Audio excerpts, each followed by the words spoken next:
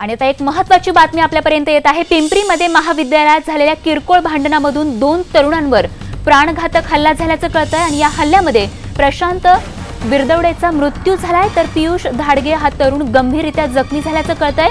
पिंपरीमधली एक धक्कादायक बातमी या क्षणाची आपण पाहतोय. पिंपरीमध्ये महाविद्यालयात झालेल्या किरकोळ भांडणामधून दोन तरुणांवर प्राणघातक हल्ला झालाय ज्यामध्ये एकाचा मृत्यू झाल्याचं कळतंय.